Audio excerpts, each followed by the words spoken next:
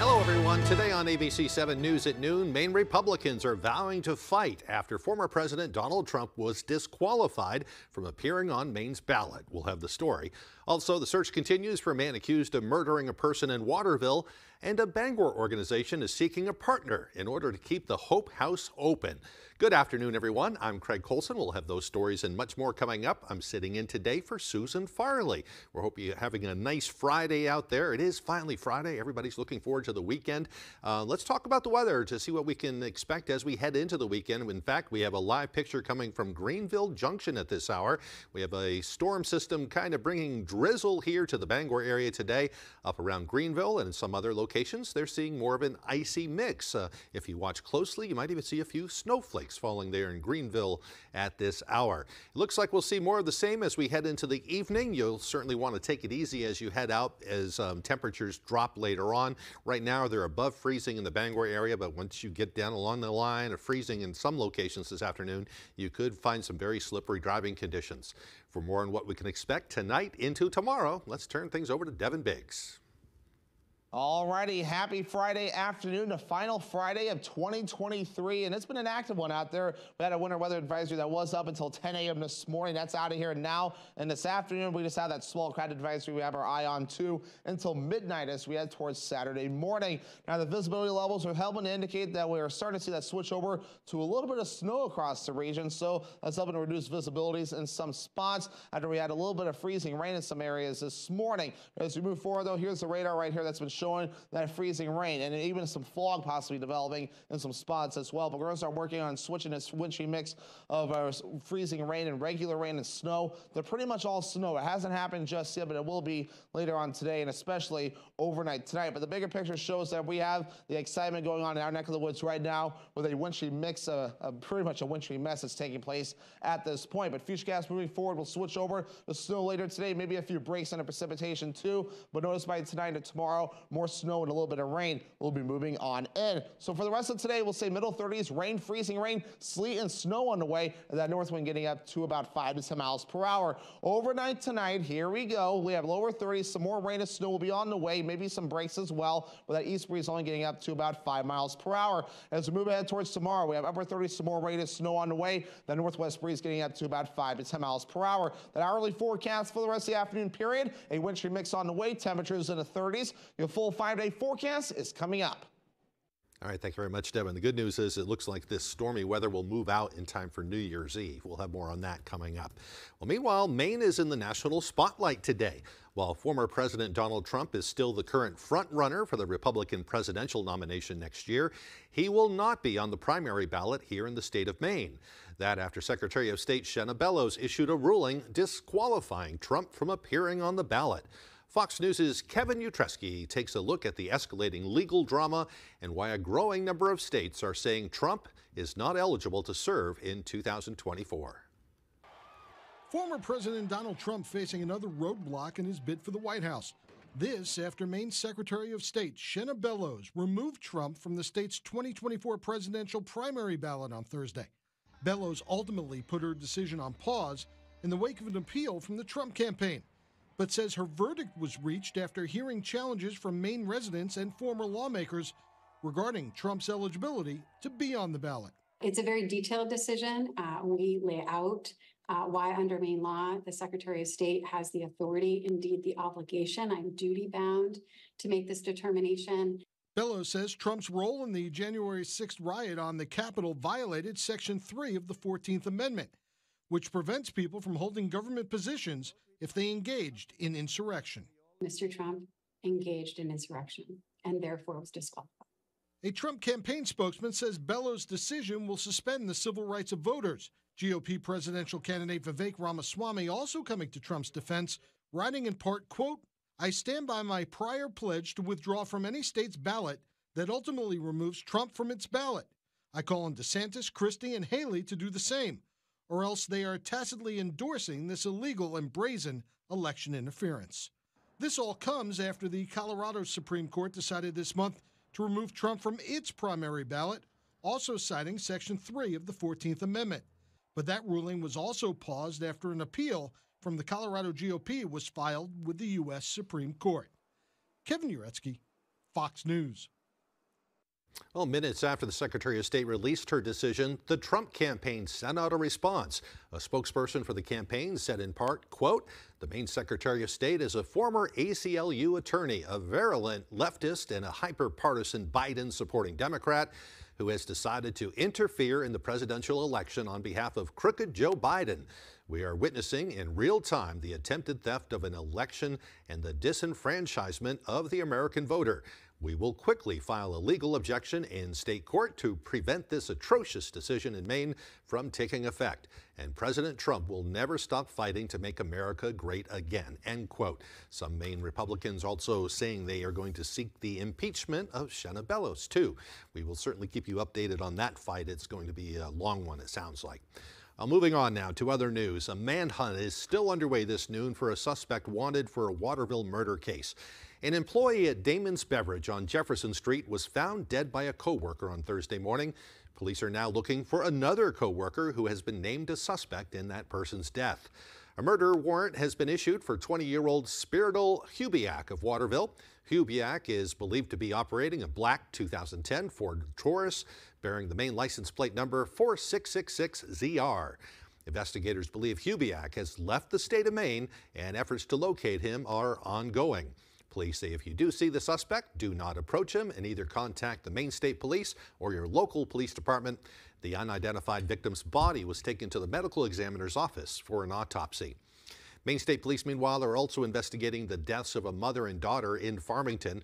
At around 1045 on Wednesday morning, officers responded to the positive dog kennel on the Red Schoolhouse Road in Farmington following a 911 call. Police say they found two people dead inside that business. Autopsies have been performed, but the cause and manner of death are not being released at this time. However, the two individuals have been identified as 76-year-old Jean Robinson of Farmington and 53-year-old Allison Cumming of Farmington. Police say the mother and daughter lived on the property in a separate building. If anyone has any information regarding this incident, you're urged to contact the Farmington Police Department. Police are also investigating a number of deadly accidents that have happened over the past couple of days.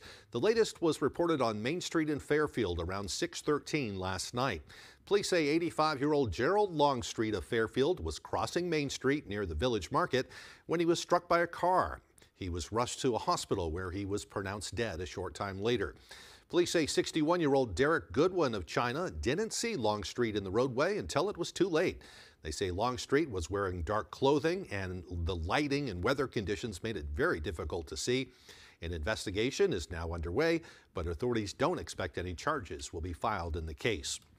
Meanwhile, one person was killed Thursday following a crash in the town of Limington. State police say it was around 3.54 Thursday when they responded to a single vehicle accident on Sokokis Avenue. They say it appears 36-year-old Bobby Goodwin of Hiram was driving south when she crossed the center line and went off the left side of the road where she struck a tree.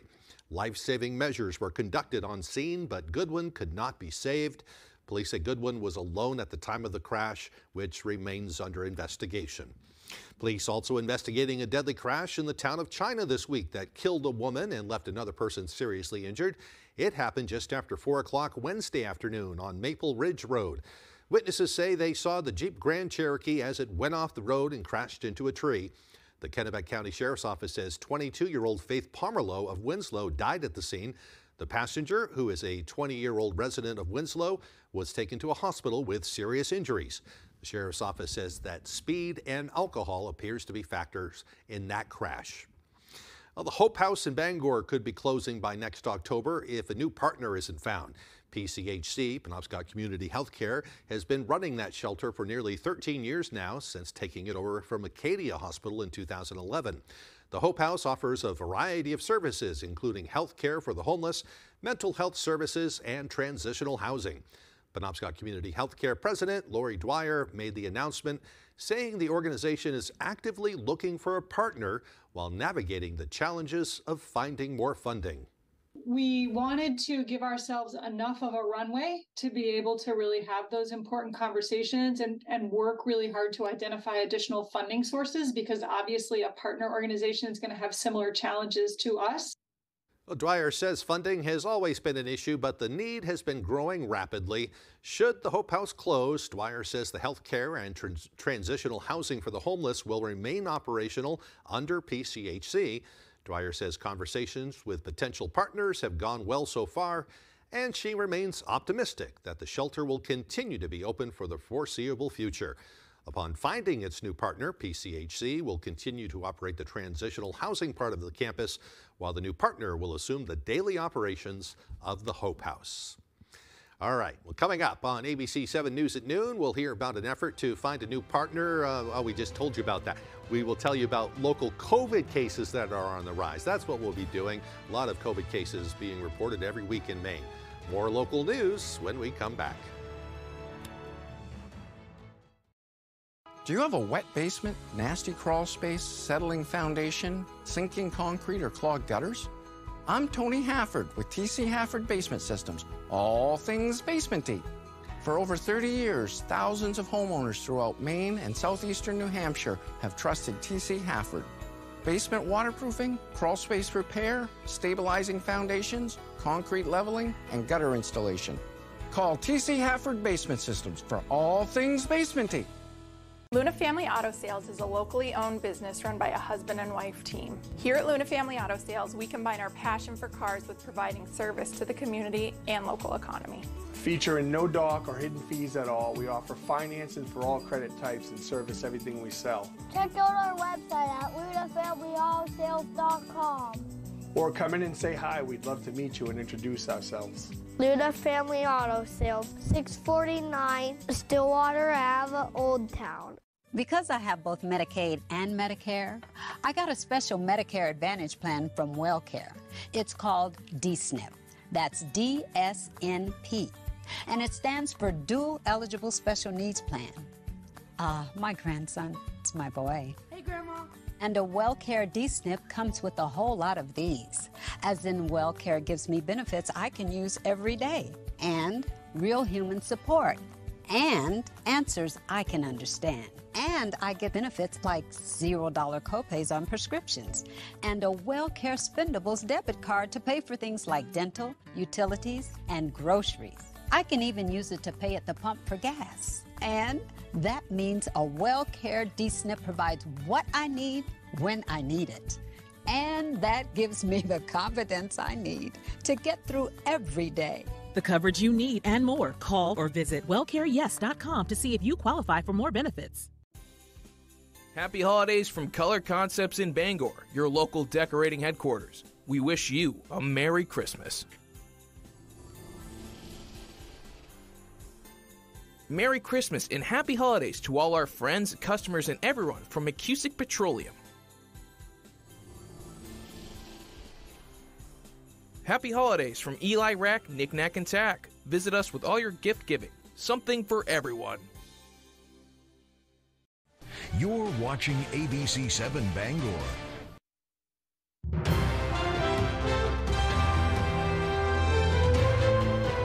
Welcome back, everyone. With power largely restored, other restoration efforts now continue around the state, including road repairs.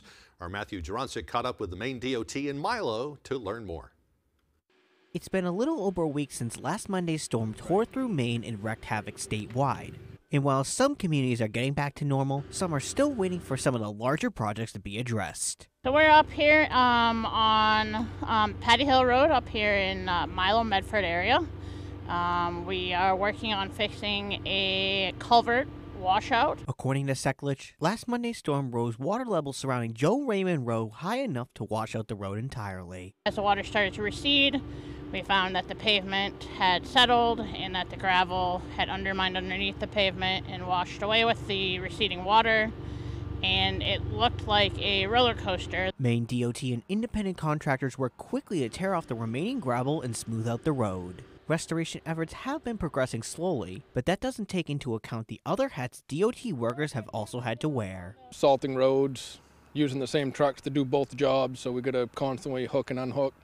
Um, have trucks loaded and stuff ready if stuff freezes up. We try to get out of here with time to get everything ready for possible snow and ice at night. As DOT efforts like this continue, Sekulich says the hardest thing to deal with isn't water damage, washouts, nor tree damage. Getting contractors and our, our partnering contractors, our, our partnering vendors, getting the equipment necessary, the materials necessary, because this is not the typical time of year that we are looking for those things. Sekulich says she anticipates Joe Raymond Road to be open as early as next week to the public. In Milo, Matthew Juronsik, ABC7 and Fox 22 News. Over the past week, we've been checking in with the experts to see what their prognosis is for the flu season. As we all remember, a few years ago, holidays and the New Year get togethers triggered super spreader events in our area. The Maine CDC now reports in the week beginning December 17th, there were five COVID deaths 96 patients, along with 14 of those who had to be put into critical care. And that's before everyone got together for Christmas. We got the chance to talk with a doctor with Northern Light Primary Care yesterday, and her message seems to be one of responsibility with increased vigilance as we navigate our way through the next few months.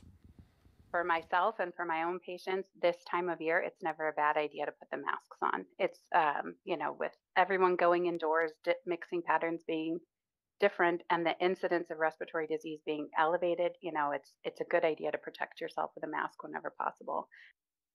Crane also wants to remind us that it's important to keep your vaccines up to date, and there's also a new RSV vaccine out there. So check with your primary care physician to make sure you are up to date. All kinds of illnesses going around right now. Well, most people know where the presents go after Christmas Day, but what about the wrapping paper and Christmas trees? Here in Bangor, the Department of Public Works has the answer. For Bangor residents only, starting on Tuesday, January 2nd, everything from wrapping paper to bows and other Christmas items can be delivered to the Public Works back entrance free of charge. They'll take care of everything. For Christmas trees, the department will begin street side pickups also on January 2nd. There'll be signs up showing you where to go. We'll have somebody on duty out there the entire time. Uh, they'll be encouraging you to separate out your cardboard from your trash so that the cardboard can be recycled.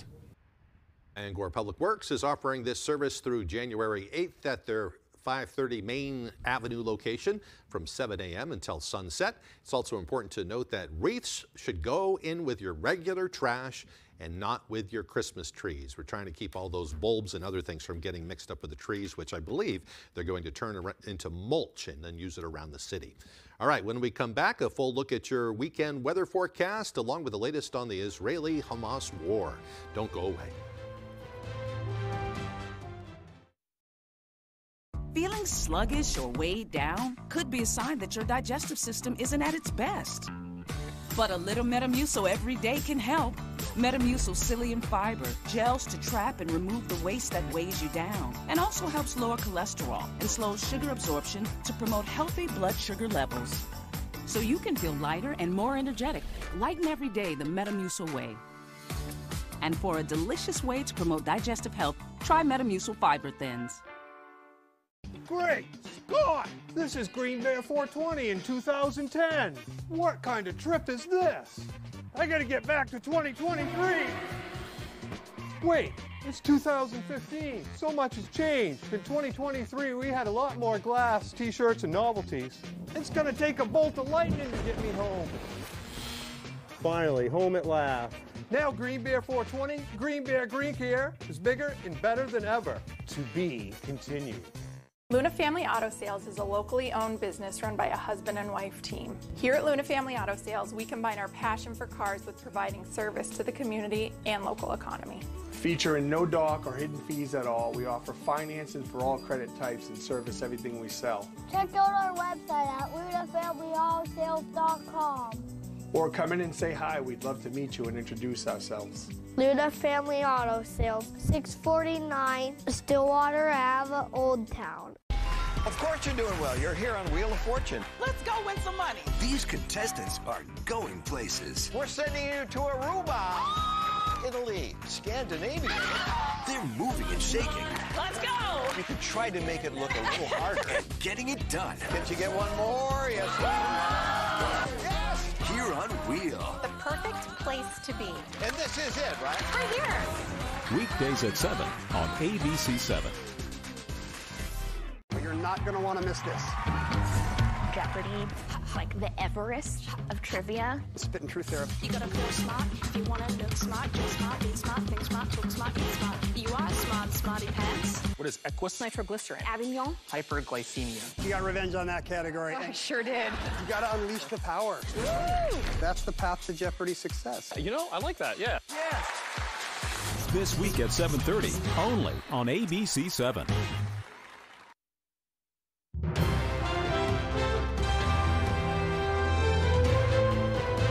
Back, everyone. Israeli military forces continue expanding their ground operations deeper into the Gaza Strip.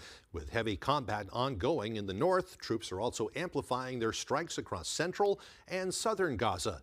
IDF officials say fighting is expected to rage on for several more months until they achieve their goal of eliminating the Hamas terror group from the region. Fox News correspondent Marianne Rafferty reports on the latest. Almost four months into the Israel Hamas war, and more than 100 hostages taken from Israel during the terror group's deadly incursion on October 7th are still in captivity. As outrage grows, protesters continue gathering across Israel, demanding the government do more to secure their release. We are here to protest for our hostages to come back as quickly as possible and to show the youth strength and to raise our voices. Egyptian officials recently proposed a plan that, if agreed to, would result in another limited ceasefire, where dozens of additional Israeli hostages would be freed in exchange for more than 100 Palestinians held in Israeli prisons. It's similar to the last temporary ceasefire deal, which ended earlier this month. But as IDF troops continue destroying Hamas infrastructure across the Gaza Strip, their blasts are also driving up the civilian death toll. Hamas officials say they are only interested in a permanent stop to the war, and only then would the remaining hostages be freed. We first confirm the movement's openness to any ideas or proposals to completely and definitively stop the aggression against our people in the Gaza Strip. Our people do not want a temporary cessation, but rather a complete cessation of the aggression. But as IDF troops target Hamas deeper into southern Gaza, Israel says it won't stop until the militants are wiped out from the region. Marianne Rafferty, Fox News. All right, let's switch gears now and talk about the weekend weather forecast. A lot of people have big plans for New Year's Eve, and it looks like this messy weather will move out in time for a nice New Year's Eve. Won't be too cold either, maybe down into the 20s. Some years it's been below zero. Um, and in case you haven't heard yet, they're doing the ball drop a little different this year. They usually drop it from Paddy Murphy's in downtown Bangor, where they're going to move it to a different location over to the new Wabanaki, Wabanaki facility over at the corner of Hammond and uh, Central Street. So you can go over there. Just part of a whole day full of uh, activities that downtown Bangor has planned to celebrate New Year's Eve. And again, the weather's looking pretty good for it. Let's turn things over to Devin Biggs for more. Today's full weather forecast is brought to you by Healing Hands Massage in Hampden, providing professional massage services tailored specifically for their clients. Stop by Healing Hands Massage today. You'll thank yourself later. All right, we did have a winter weather advisory up earlier this morning that got dropped at around 10 a.m. as we're, we're going to keep switching over from this freezing rain and regular rain, that wind sleet mix over to a little bit of snow that will be arriving soon. We have a small craft advisory that is also up until around midnight as we head towards your Saturday, as of course active surf will be expected in those areas. We do have a little bit of fog that's also snuck in a few areas as well, reducing visibility. We're going to work on switching over to snow coming up soon, which will also help to reduce our visibilities moving forward. But the radar is mainly showing rain and that pink on there, which is a sleet mix, possibly a freezing rain falling. We also have a little bit of, of a blue showing up in the northern parts of the states with some snow falling as well. We're going to work on seeing us turning over to more white as we do move forward in time. Say we have the system to the north, another system right about in here, and that's helping to get the precipitation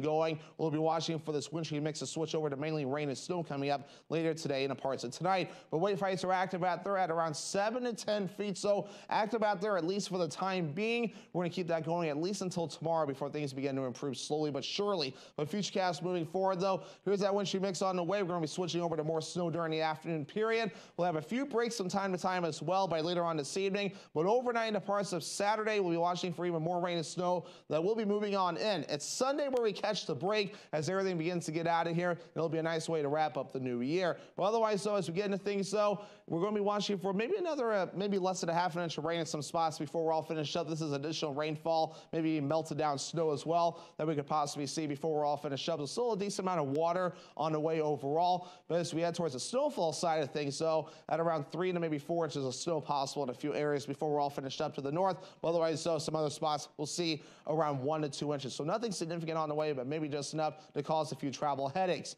Average high temperature is 31 degrees, middle 30s today, upper 30s Saturday and Sunday, lower 30s Monday. But then we're back in the 30s again Tuesday, Wednesday, and also into your Thursday. For today, rain, freezing rain, sleet, and snow with highs in the mid 30s. The north wind getting up to about 5 to 10 miles per hour. By tonight, lower 30s, more rain and snow on the way, maybe a few breaks as well. And that east wind getting up to about 5 miles per hour. Tomorrow, more rain and snow again, highs in the upper 30s. That northwest wind getting up to about 5 to 10 miles per hour. Alrighty, here's a extended forecast brought to you by Healing Hands Massage. A partly cloudy on New Year's Eve, highs in the upper 30s. Lower 30s New Year's Day, partly cloudy. And partly cloudy Tuesday, highs in the mid 30s. Have a happy new year. Did you know 80% of women are struggling with hair damage? Dryness and frizz that keeps coming back could be damaged hair that can't retain moisture. You need Pantene's Miracle Rescue Deep Conditioner. It's filled with provitamins to help hair lock in moisture, visibly repairing six months of damage in just one use, with no weigh down. Guaranteed or your money back. For hair that looks healthy and stays healthy. If you know, you know it's Pantene.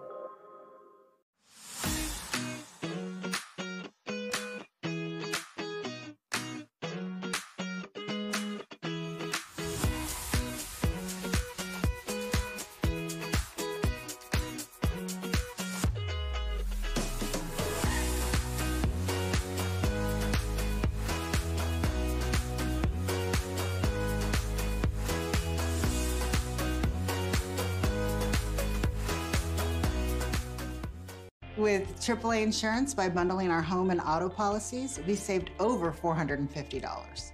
And we were shocked at the savings. When we switched to AAA auto insurance and bundled our policies, we were able to save over $400 every year. Switch to AAA insurance today, and you could save an average of $483 on auto insurance. Compare that to State Farm, Geico, even Allstate.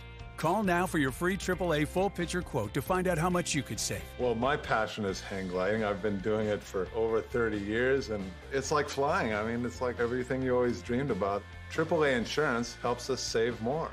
And do more. The savings from AAA Insurance has allowed me to pursue my passion of making jewelry. It's great to have a little bit of extra cash to do something that you love. To find out how much you could save by switching to AAA insurance, call 866 460 1310 for your free AAA full picture quote today. You'll be glad you did.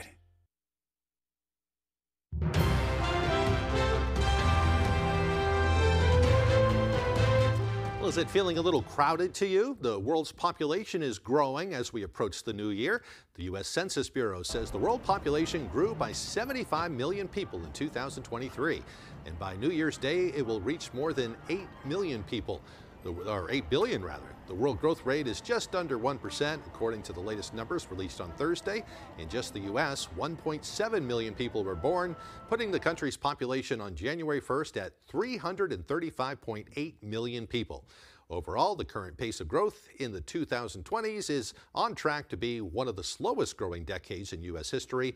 Right now, the slowest growing decade stands in the 1930s, right after the Great Depression, when the growth rate was at 7.3 percent. And finally, a new study finds health benefits for elderly people who own pets, especially in stopping one kind of decline. The Chinese study, published by the Journal of American Medical Associations Network Open, uh, found slower cognitive decline in elderly people who live alone and own a pet. Pet ownership among the group can also aid uh, verbal, memory, and fluency. The study included about 8,000 people in all. So, one more reason to get a pet if you don't have one already. That'll do it for now, folks. We thank you so much for joining us. Hope you have a great weekend and a wonderful new year.